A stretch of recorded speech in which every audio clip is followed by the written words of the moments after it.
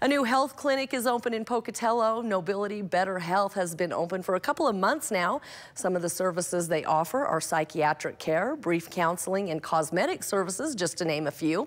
The owner of the clinic, Angela Allen, says they have continuity of care in their clinic where they can see a patient and get labs done in the clinic and also see a family nurse practitioner for primary care and hormone therapy. She says they treat the whole person, not just one aspect of the person.